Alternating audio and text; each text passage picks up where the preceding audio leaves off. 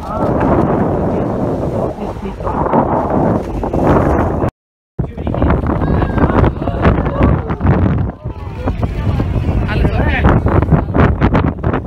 you've got to be patient, don't you?